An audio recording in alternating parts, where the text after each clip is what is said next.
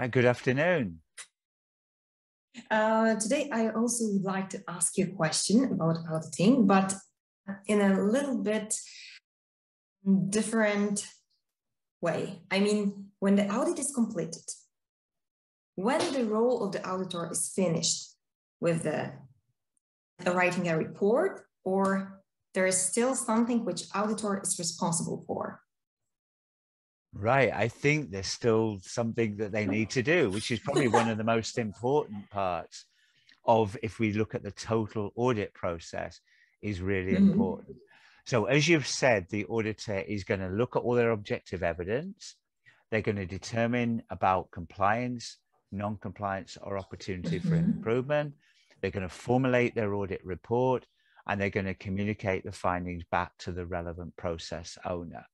And hopefully, if there's been good communication in the audit, the process owner will agree to the findings without having any debate or any arguments because mm-hmm. they should already been made aware that the problem exists at the time of the audit.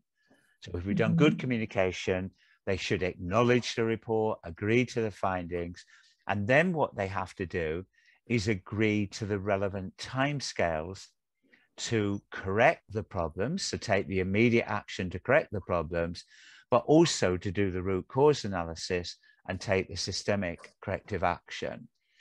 Now, the time scale is not defined in either ISO 9001 or IATF. In ISO 9001, it talks about taking action without undue delay. Yeah.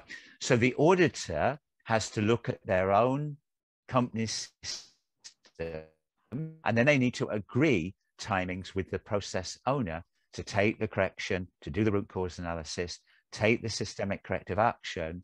And then the auditor role then is to verify that those actions are actually taken. Mm-hmm. Yeah, that it's not just a plan and then the auditee forgets about it, that they see the actions through to completion and they implement the actions effectively. So, what the auditor will do is some form of follow up audit activity mm-hmm. that might be done remotely for a small problem, maybe a minor nonconformity, or if it's a big problem, a major nonconformity, the auditor might physically have to go back into the work area and verify that the corrective action has been effectively implemented.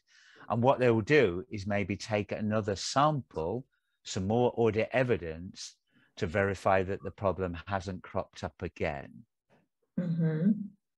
What would happen if the auditor would figure out that the actions implemented to close the nonconformity are not actually effective? Right, great question. So the initial thing is they would communicate with the relevant process owner.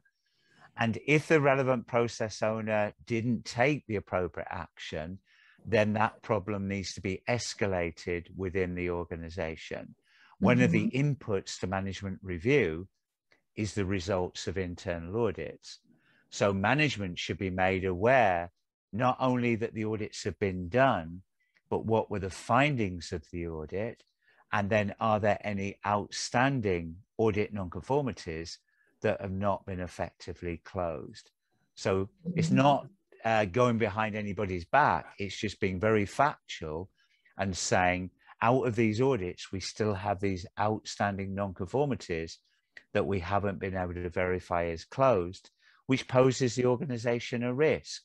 And then mm-hmm. management have to investigate that and provide the relevant resources to make sure those problems are effectively fixed.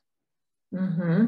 So it seems so that um, this might be later the responsibility of top management to work to close the nonconformity. Am I right? Yeah, yeah, or or influence the process owner to find yeah. out why mm-hmm. they cannot fix the issue. Maybe it's a financial resource. Maybe they need to go and buy some new equipment. Maybe mm-hmm. they need to invest in some external training. But mm-hmm. what it's doing is not blaming the process owner, but it's just escalating and saying, we have this outstanding issue. We have to resolve it. It doesn't seem to be being resolved by the normal channel. Therefore, we need to escalate it through the management review process. Mm-hmm. Yeah, true. Thank you, Paul, for today question. Um, let's meet again. Thank you very much. Yeah, thank you.